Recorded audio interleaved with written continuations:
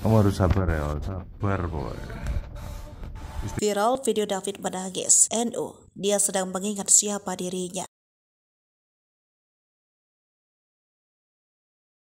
Kondisi terbaru korban penganiayaan anak pejabat di Jun Pajak, David Ozora, pada Selasa 7 Maret 2023 membaik. Hal ini terlihat dari video yang diunggah oleh ayahnya Jonathan Latumahina. Video yang diunggah Jonathan Latumahina, ayah D 17 tahun, soal kondisi teranyar sang anak mendapat simpati dari publik. Dalam video berdurasi 32 detik itu terlihat D emosional. Ia seperti meluapkan rasa amarahnya seraya menangis. Biro Advokasi Hukum Pagar Nusa Nahdlatul Ulama, Amsori menyebut respon yang tunjukkan D adalah sesuatu yang wajar.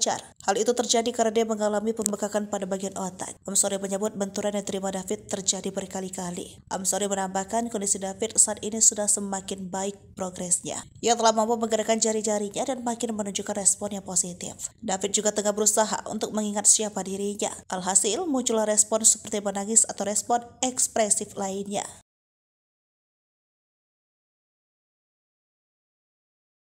Di waktu kesamaan, David juga mendapat kunjungan dari Kapolda Metro Jaya Irjen Pol Padil. Irjen Fajil datang bukan hanya melihat kondisi David, tetapi juga memberikan dukungan moral. Dilansir dari Kompos.com, Irjen Fadil datang dengan mengenakan seragam dinasnya. Ia tidak datang dengan tangan kosong. Pantauan langsung Kompos.com di lokasi. Tambak parcel buah serta bunga berwarna putih dibawa oleh petugas kepolisian masuk ke dalam rumah sakit. Diketahui, buah tangan tersebut berasal dari Kapolda Metro untuk David. Kedatangan Kapolda Metro disambut baik oleh pengurus GP Ansor dan beberapa pihak di depan lobi rumah sakit Mayapada sekitar pukul 4 lewat 4 waktu Indonesia bagian Barat. Diketahui, Mario Dani Satrio yang merupakan anak dari mantan pejabat Ditjen Pajak Jakarta Selatan menganiaya David pada 20 Februari 2023 di Kompleks Grand Permata. Mario marah mendengar kabar kekasihnya berinisial AG 15 tahun mendapat perlakuan tidak baik dari korban. Mario lalu menceritakan hal itu kepada temannya Sens Lucas 19 tahun. Kemudian, Sen memprovokasi Mario sehingga Mario menganiaya korban sampai koma.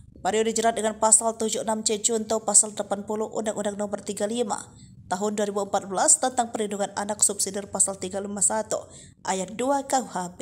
Sementara itu, saya dijerat pasal 76C Junto pasal 80 Undang-Undang Nomor 35 tahun 2014 tentang perlindungan anak subsidiar pasal 351 KUHP.